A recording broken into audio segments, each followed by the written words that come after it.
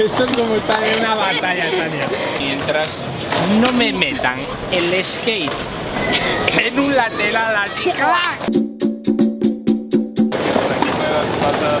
Vale.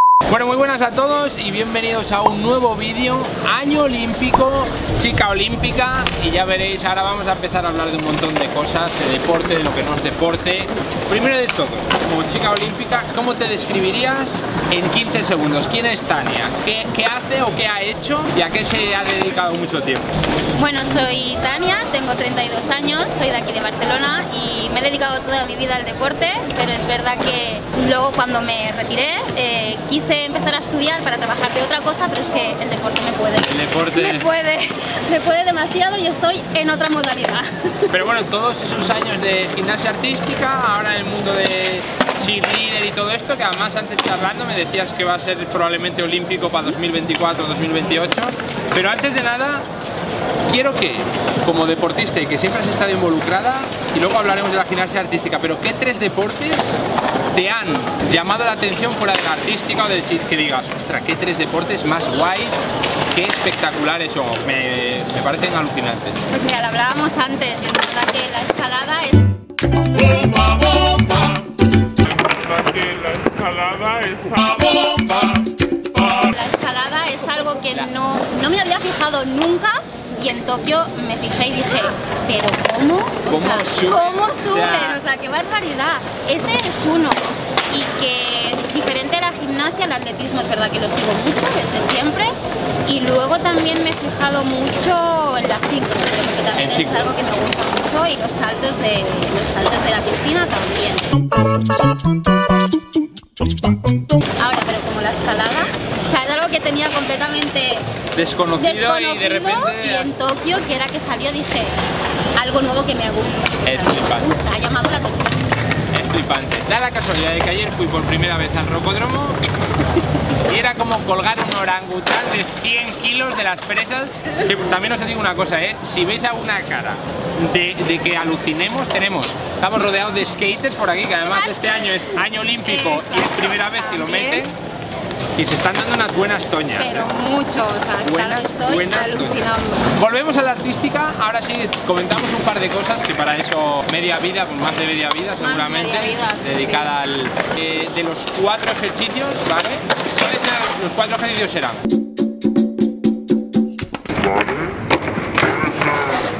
Los cuatro ejercicios eran eh, asimétricas, Barra, suelo, Suelo y barra potro. y potro. Tu favorito y tu menos favorito.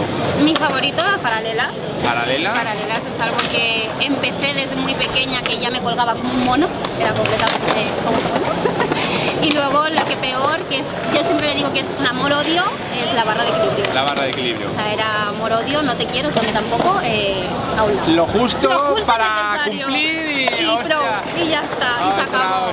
Sí, sí, sí. barra, eh, 10 eh, centímetros. sea, el que, claro, ¿qué, qué pie tienes tú? ¿Un 30? Un 37. 37. O sea, no entran ni dos 37 No, no, no. en- Tenía que tener uno delante del otro. El que tenga un 42, ni eso. No. ¿Los de baloncesto? No. Los de baloncesto. No. Oye, pues se podría intentar, ¿eh? Un pie así delante de otro hacen ya toda barra. Pues ya sabemos ahí, porque a mí además, ya, además antes también lo comentábamos, porque antes de grabar hemos estado charlando un ratillo, porque aparte personalmente no nos conocíamos y, comentábamos el tema de, bueno, le decía que el tema de la artística ha sido yo creo que uno de los tres deportes que siempre me ha parecido espectacular. O sea, el suelo me ha parecido flipante, el, el potro, cuando son los chicos, Sí. las anillas, el típico, Sí. yo creo que como muy conocido, el típico Cristo, ¿no? Que todo el mundo habla de eso, Sí, de sí.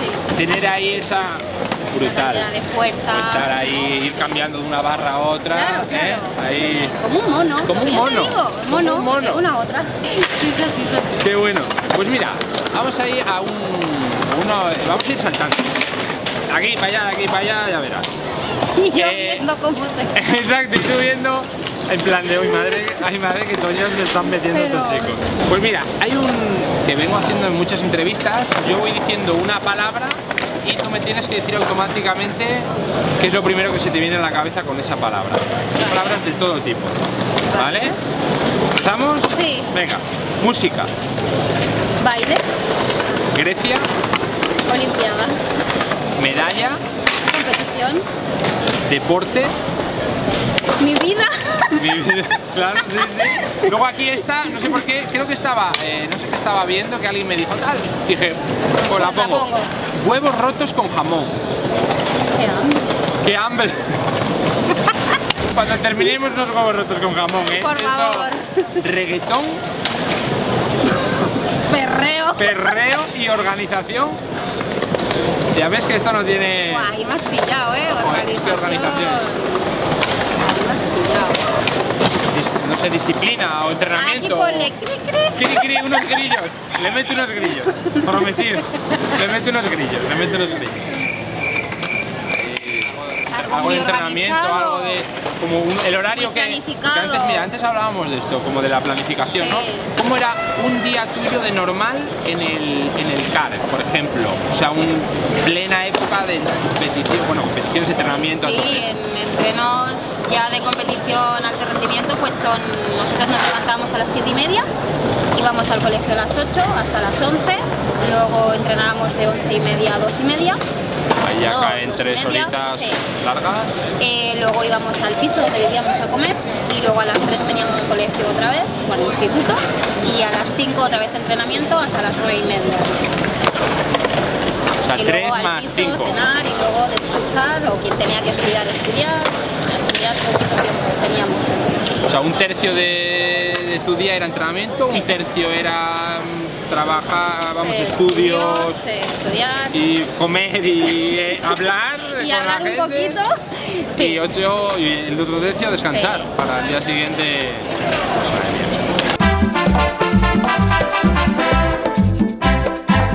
Tope, a, tope, a tope. Vamos allá con otra cosa. Tengo aquí, mira, esta, esta ya te la había hecho. Es que voy, voy por delante, voy por delante. Es adelante. Con la ya voy por delante. Hay otro juego que este, además mira, el- los dos últimos invitados que han sido los dos chicos, uno te había comentado que era Robert Alaiz, atleta Sí. también, mundialista, y que nos, bueno, comentaba que por un, no fue por un segundo a Londres, al año- a los cuatro años en Río se rompió el Aquiles, Las cosas de las lesiones. Y es un juego que yo creo que da bastante juego, ¿vale? Es un juego que da bastante juego. Basta. Este es mi nivel de, entrevista. Juego juego, vale. Eh, yo te voy a decir tres personas, ¿vale? Que son conocidas y tú vas a decir, pues con esta persona nada, con esta me caso y con esta noche loca. Es un juego que da, Vale. que da mucho... Es divertido, Vale. ¿vale? Gente conocida, deportistas, músicos, ya verás que aquí hay un Vale. de todo. Y a Miguel le puse, a Miguel que fue el anterior, al- a Robert también, ya verás. Vamos allá. Vamos. Primero de todo, son muy conocidos en España, ¿vale? Cada uno lo tienes que poner en un sitio. Verás. Dani Martín del Canto del Loco, Oscar Casas, el hermano pequeño y a Mario Casas. Es que me estás poniendo todos muy guapos. Claro, tú. claro, es que a ver, Qué difícil. que a quién ¿Nada? nada, ¿A quién claro, nada? ¿a quién descartas? Es que si descartas a Dani ya te quedas con la saga Casas. O sea, ya no hay Yo creo que de- se- se iba a a Dani, ¿eh? Pero... No, no, esto- yo no te quiero influenciar, No, ¿eh? no, no, yo creo, porque no recuerdo la edad de Oscar Casas, pero Uy. creo que por edad, yo creo que descarto a Oscar. veintipocos. Descarto nada con Oscar. Nada, Oscar, ¿vale? Espera, me caso y... Me caso, ignoro o Noche Loca. Vale. Noche eh, Loca, Dani o Mario. Noche loca, Dani. Dani, ¿vale? Y con Mario te casas. Vamos. Ahora mismo. Ahora mismo. Ahora mismo. Aquí, ¿dónde está? No. El próximo invitado es justo Mario Casas. Ah, está invitada, ¿no? Sí, llegaremos, llegaremos ahí, ya lo veréis. Tres, uff, esta es interesante porque son deportistas españoles, Vale. ¿vale? Está por un lado Rafa Nadal, Gerard Piqué y Saúl Cravioto. ¿Has coincidido con alguno de ellos alguna vez de que No. Pude haber coincidido con Saúl, que creo que, si no me equivoco, estuvo en Pekín. Sí, creo que sí, Creo- porque ha sido tres Sí. años medallista, Sí. este, el anterior y el anterior, pues... Claro, en Atenas no estuvo. Exacto, Pude haber coincidido, pero no, pero no. pero no. Vale. Eh, vale, a ver. Eh, Piqué, Saúl, Piqué, Saúl y Rafa. eh, nada Nada con Piqué, Nada con Piqué. lo siento, no tengo nada en contra. Nada. Piqué, ignorado. Ignorado. Tengo algo con. No, no, lo- Noche Loca Noche loca. con, ahí con, Rafa con Rafa. y me Te casas con Saúl. Me ha dicho que muy interesante. Te, te ibas a iniciar al remo, ¿eh? ¿Eh? Lo mismo ahí.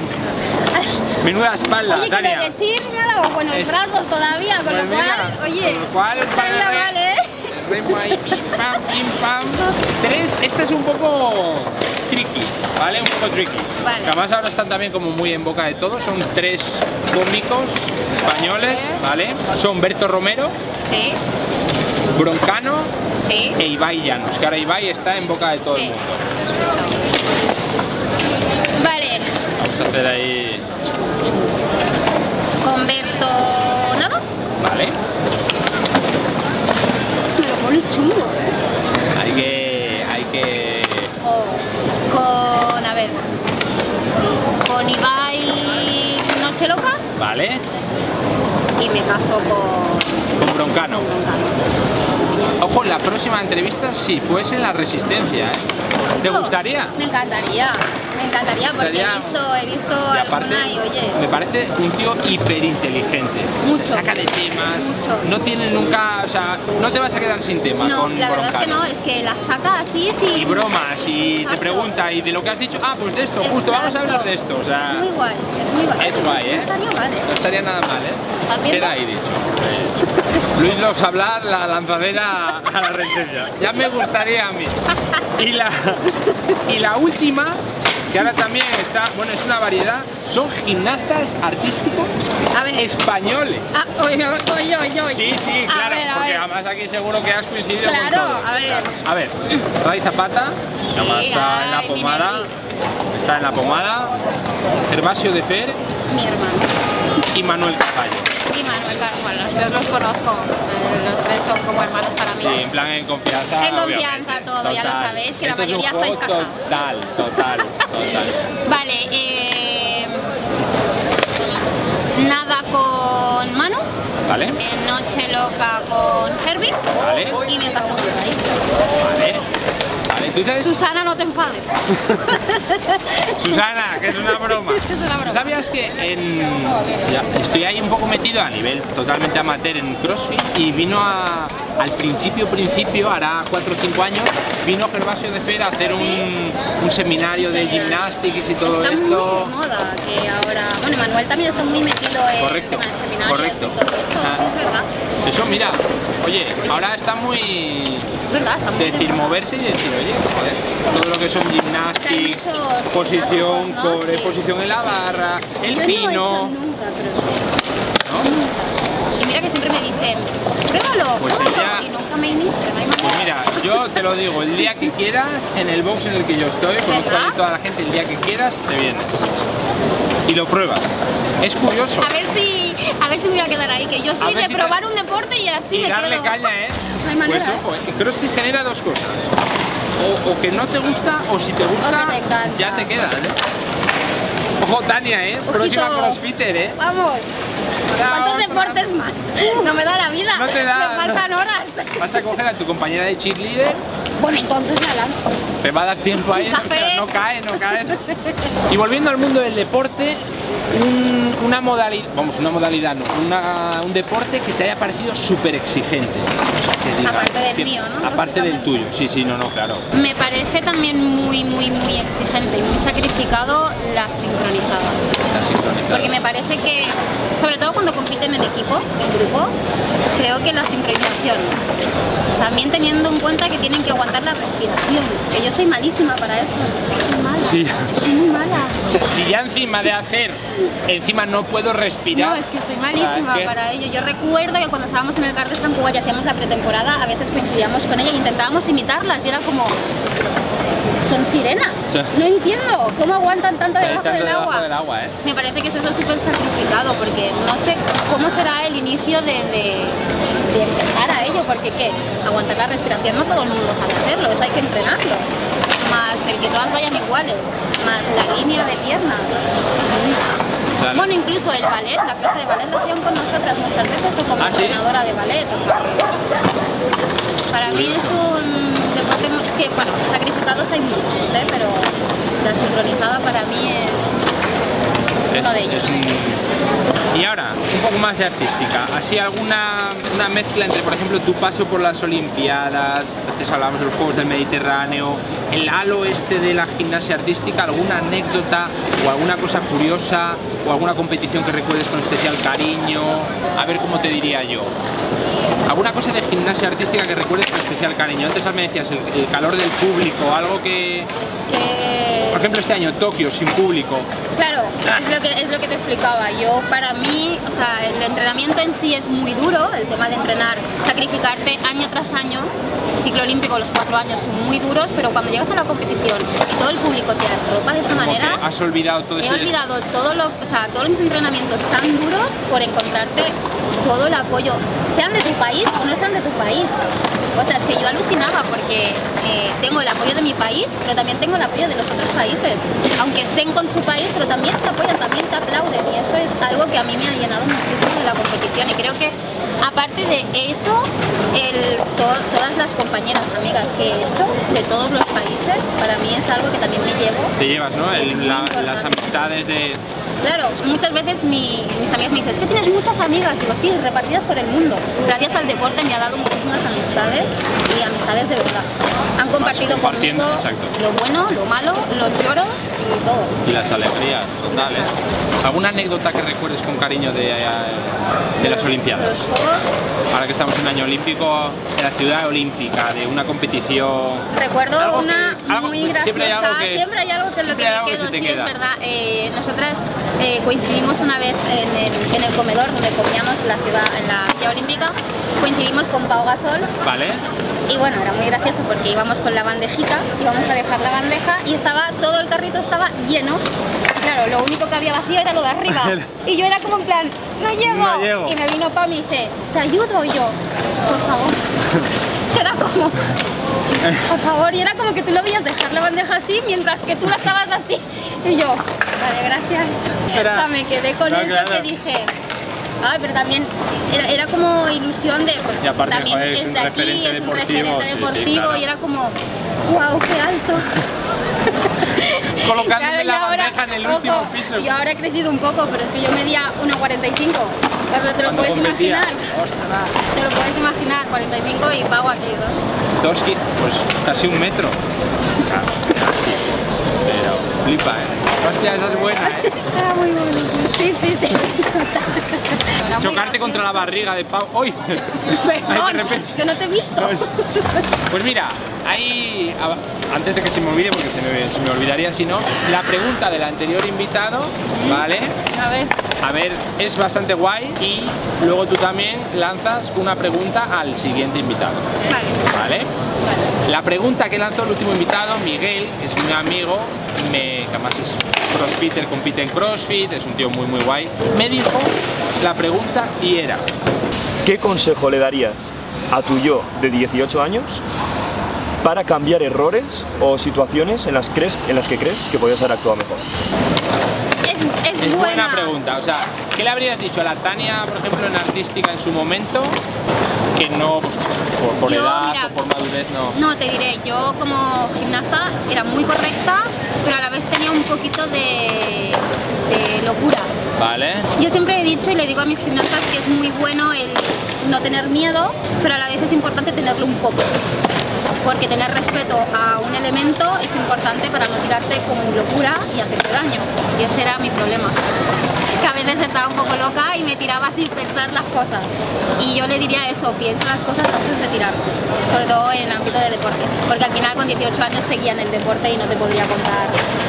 No he hecho Grande. ninguna locura. Vale, vale. ¿Sabes? Si hubiera fuera del deporte seguro hubiera hecho la loca, pero dentro del deporte le diría que pensara un poco más antes de tirarse. a lo loco. Eh, Hablando de, de tirarse y tal, esto es un clásico. A ver, hay memes de gimnastas que van a cogerse a la barra y caen como un salchichón. O sea, alguna toña Buena, que recuerdes que digas, menuda, me he metido. pues la que te he contado antes. Sí, sí. Tuve una buena caída en barra de equilibrios que me rompí el coxis y fue muy buena. Bueno, si hubiera estado grabada te lo hubiera enseñado, pero No. Yo solo Está imaginarme, grabado, menos mal. solo imaginarme ya, ya, Ya apretas el culo, ya ¿eh? aprieto y me quedo tieso como vamos. Dolió, dolió mucho. dolió Ostras. mucho. Sí, sí, fue, fue durillo, fue durillo. De Caer. muchas, ¿eh? Hay muchas caídas. Claro, pero, claro. pero aquella la recuerdo con dolor. Hay- había un aparato que era más propenso a la- una caída fea, porque no sé, a lo mejor en, en suelos planos es como que caes, pero a lo mejor si caes desde una altura desde barras o... En las paralelas, sobre todo, las Sí. paralelas si estás haciendo un molino, que es lo de Sí. dar la vuelta, se te escapa una mano, te vas lanzada para afuera, a saber dónde Ya, vas dónde- a... Chao. ¡Hasta luego! Eh, hay muchas, hay muchísimas caídas. Es verdad que tenemos al entrenador abajo y siempre nos salvan de todo. Es decir, que mis entrenadores me han salvado de mil y una, pero es verdad que hay algunas que por X o por A no se pueden salvar y nunca se haga daño a nadie, pero hay caídas. Pero hay caídas. hay caídas Es así. Como, bueno, iba a decir, no lo he visto, pero he, he oído un, pati- un skate y he dicho, a lo mejor ra- raspo la chapa. Pues poco más me queda, poco más me queda. Alguna cosa que digas, ostras, pues mira, no hemos hablado de esto, alguna cosa que digas del, de la artística o de alguna cosa, no sé qué se te ocurra. No, no, a mí me ha impresionado que tú me dijeras que hacías lanzamiento de peso, o sea, ¿Qué te parece, eh? aquí, ¿eh? El amigo. ¿Qué te parece, eh? No, ahí me quedé alucinada. No, de hablar de otra cosa así que no hayas hablado, no. La verdad que ha estado bastante Ahí. bien.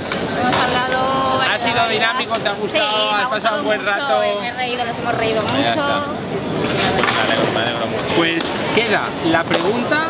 Sí. Aquí, dale una vuelta. Te doy una vuelta. Yo aquí luego corto y ya Vale. lanzamos la pregunta y despedimos el vídeo. ¿Qué te parece? Me parece. Le damos ahí una vuelta a ver Vamos, que una sí, buena pregunta. déjame Puedes ponerle en compromiso, puede ser una pregunta, lo que sea. Han preguntado de todo, ¿eh? Te ha tocado una guay, Guay, pero sí, ha habido gente bien. que ha preguntado de todo. Vale, O sea que- le doy una vuelta. un amigo que lanzó una pregunta que fue eh, ¿te gustan los Big Mac? No he Dijo, no, no sé qué. ¿En serio? ¿No has probado un Big Mac? Hace mucho que no, pero yo sí que los he probado. No te pierdes tampoco. No, no. Algo. Hay cosas más ricas. La tengo ahí, ahí, pero no Medio, sé medio cómo... tienes que afinarla. Sí, sí. Porque quiere decirle en plan cuál es la mayor locura que ha hecho, ¿Vale? pero en qué. Ya, a ver. De fiesta, de fiesta. ¿Sí? Sí, Porque esas dan juego. esa la Esa da juego. Sí, sí, sí. Pues la tenemos para el próximo invitado o invitada. O invitada que nos sabe. ¿Cuál es la mayor locura que has hecho de fiesta? Ahí está, pues yo esa pregunta, ya te dije, mañana además grabo otra entrevista, mañana la lanzaré. Ok. A ver qué contesta. Contesta. Y dicho esto, cerramos aquí el vídeo y me gustaría cerrarlo de una manera. Vale. Y es, en CrossFit rollo muy amateur, tengo una asignatura pendiente que es hacer el pino. Vale. Y más o menos Sí. va saliendo. Soy todo grande, pero más o menos estoy ahí. Entonces, tú, como jueza, eh, entrenadora, coach, haces un poco de todo. Sí. Yo aquí intento hacer un pino, Vale. probablemente caiga como un salchichón como los de Alien Skate, pero no pasa nada. Vale. Es, es pan de cada día entrenando. Ya, no es el primer día, entonces bueno, a lo mejor puedo salvar un poco.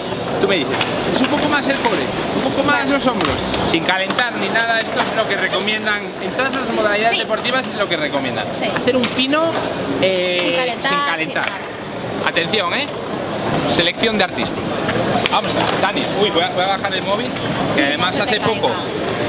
Rompí la pantalla y la he regalado, así que lo tengo ahora mimado. Eh, Venga. atención, no me, pase- Que no que, no, me pase un skater No, no, no. y con eso ya me conformo. A ver.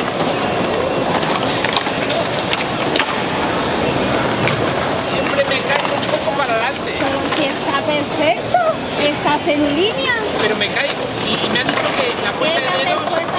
pero no peso mucho, mis dedos dicen, te muevo 60, Como la escalada de ayer, ¿eh? Último intento y ya se termina. Daniel, dale. tú me tienes que decir. Vamos. Dale, El paso de frenada. el culo. Haciendo culo arriba. culo. Ahí, ahí, ahí, mejor. Arriba a la derecha.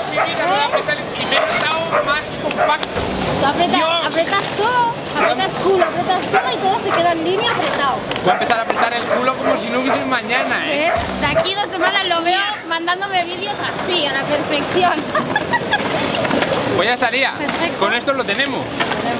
Me alegro mucho, Tania. ¿Te lo has pasado bien? Súper bien, me he Genial. reído mucho. Pues ya está. Olimpiadas, Atenas, Tania Genet ahí a darle caña.